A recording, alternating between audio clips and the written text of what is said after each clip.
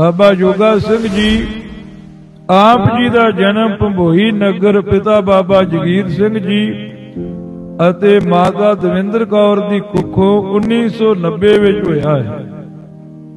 ਔਰ ਗੁਰਦੁਆਰਾ ਸ਼ਹੀਦੀ ਬਾਗ ਸ੍ਰੀ ਅਨੰਦਪੁਰ ਸਾਹਿਬ, ਉੱਥੇ ਗੁਰੂ ਖਾਲਸਾ ਜੀ ਮਾਤਾ ਦਵਿੰਦਰ ਕੌਰ ਨੇ ਆਸਾ ਕੀਤੀ ਵੀ ਬਾਬਾ ਕੀਰਤਨ ਸਿੰਘ ਜੀ ਦੇ ਕੋਲੋਂ ਅਰਦਾਸਾ ਕਰਾਈਏ। ਮਹਾਰਾਜ, ਸਾਨੂੰ ਧੀ ਦਿਓ। ਧੀ ਦੀ ਲੋੜ ਹੈ ਦੋ ਪੁੱਤ ਹੋ ਗਏ ਨੇ। ਤੇ ਪਾਸ ਬਾਬਾ ਜਗੀਰ ਸਿੰਘ ਜੀ, ਪਿਤਾ ਜੀ ਖਲੋਤੇ। ਉਹਨਾਂ ਹੱਥ ਜੋੜ ਕੇ ਆਖਿਆ, ਮਹਾਂਪੁਰਖੋ, ਧੀ ਮਗਰੋਂ ਦੇ ਦਿਓ, ਪੁੱਤ ਦਿਓ। ਅਸੀਂ ਤੁਹਾਡੇ ਚਰਨਾਂ ਵਿੱਚ ਅਰਦਾਸ ਕਰਵਾਈਏ। ਆਖੋ, ਸਤਨਾਮ ਸ੍ਰੀ ਵਾਹਿਗੁਰੂ। ਸਿੱਧੀ ਬਾਗ ਹੀ ਅਰਦਾਸ ਹੋਈ ਪੁੱਤਰ ਦੀ। ਔਰ ਜਦੋਂ ਗੁਰੂ ਖਾਲਸਾ ਜੀ ਪੁੱਤ ਪੈਦਾ ਹੋਇਆ ਨਾ, ਸਾਲਕ ਦਾ ਲੈ ਕੇ ਮਹਾਂਪੁਰਖਾਂ ਕੋ ਚਲੇ ਗਏ। ਬਾਬਾ ਕੀਰਤਨ ਸਿੰਘ ਜੀ ਕਹਿਣ ਲੱਗੇ ਥੋੜਾ ਜਿਹਾ ਵੱਡਿਆਂ ਕਰੋ। ਬਾਬਾ ਜਗੀਰ ਸਿੰਘ ਜੀ ਹੱਸ ਕੇ ਆਖਣ ਲੱਗੇ, ਬਾਬਾ ਜੀ, ਫਲੇ ਬਲਾਤੇ ਤੇ ਲੈਂਦੇ ਹੋ ਮਾਲ ਕੇ ਵੀ ਵੇਖੋ। ਐ ਲੱਗੇ ਦਵਾਂ ਕਿ ਸਾਲਾਂ ਦਾ ਕਰ ਦਿਓ ਦੋ ਢਾਈਆਂ ਸਾਲਾਂ ਦੇ ਗੁਰੂ ਖਾਲਸਾ ਜੀ ਦਾਲ ਪੰਥ ਵਿੱਚ ਅਰਪਣ ਕਰ ਦਿੱਤੇ। ਮਹਾਂਪੁਰਖਾਂ ਦੇ ਚਰਨਾਂ ਵਿੱਚ।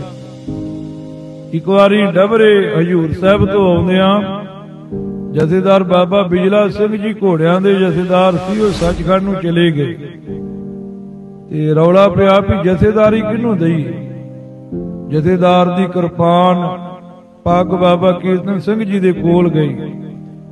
ਤੇ ਬਾਬਾ ਜੋਗਾ ਸਿੰਘ ਜੀ ਨਿਗੇ ਜੇ ਭੱਜੇ ਆਉਣ ਤੇ ਬਾਬਾ ਕੀਰਤਨ ਸਿੰਘ ਜੀ ਨੇ ਨਾ ਗਾਲ ਕਿਰਪਾਨ ਪਾ ਕੇ ਤੇ ਪੱਗ ਬੰਨ ਕੇ ਆਖਿਆ ਆਵੇ ਸਾਡਾ ਜਥੇਦਾਰ ਤੁਰਿਆ ਹੁੰਦਾ ਆਉਣ ਵਾਲੇ ਸਮੇਂ ਵਿੱਚ ਪੰਥ ਦੀ ਵੱਡੀ ਅਗਵਾਈ ਕਰੇਗਾ। ਨਾਲ ਕਿਰਪਾਨ ਗਲ ਪਾ ਦਿੱਤੀ, ਨਾਲ ਦਸਤਾਰ ਵੀ ਦੇ ਦਿੱਤੀ। ਗੁਰੂ ਖਾਲਸਾ ਜੀ, ਇੱਕ ਵਾਰ ਗੋਇੰਦਵਾਲ ਸਾਹਿਬ ਦੀ ਧਰਤੀ ਤੇ ਬਾਬੇ ਕੀਰਤਨ ਸਿੰਘ ਜੀ ਹੋਣੀ ਬੈਠੇ। ਜਹਦਰ ਬਾਬਾ ਜੋਗਾ ਸਿੰਘ ਜੀ ਛੋਟੇ ਜਿਹੇ ਬਾਲ ਅਵਸਥਾ 'ਚ ਭੱਜੇ ਜਾਣ। ਤੇ ਭੱਜ ਕੇ ਜਾ ਕੇ ਮਹਾਂਪੁਰਖਾਂ ਦੇ ਪਲੰਘੇ ਤੇ ਚੜ ਗਏ। ਤੇ ਬਾਬਾ ਜੀ ਨੇ ਐ ਚੁੱਕ ਕੇ ਨਾ ਤਾਂ ਨੂੰ ਛਾਤੀ ਨਾਲ ਲਾ ਕੇ ਆਖਿਆ, ਕੋਈ ਨਹੀਂ, ਅਜੇ ਵੇਲਾ ਨਹੀਂ, ਵੇਲਾ ਆਵੇਗਾ। ਤੈਨੂੰ ਵੀ ਇਹ ਪਲੰਘੇ ਤੇ ਬਿਠਾਵਾਂ ਇਹੋ ਜੇ ਬੋਲ ਮਹਾਂਪੁਰਖ ਬਾਬਾ ਕੀਰਤਨ ਸਿੰਘ ਜੀ ਕਰਦੇ ਰਹੇ। ਗੁਰੂ ਖਾਲਸਾ ਜੀ, ਉਹ ਬੋਲ ਉਹਨਾਂ ਮਹਾਂਪੁਰਖਾਂ ਦੇ ਸੱਜੇ ਹੋਏ। ਉਹ ਬੋਲ ਗੁਰੂ ਖਾਲਸਾ ਜੀ ਉਹਨਾਂ ਮਹਾਂਪੁਰਖਾਂ ਦੇ। ਗੁਰੂ ਖਾਲਸਾ ਜੀ ਚਾਨਣ ਦਾ ਮਨਾਰਾ ਬਣੇ ਔਰ ਸ੍ਰੀ ਮਿਸਰ ਚ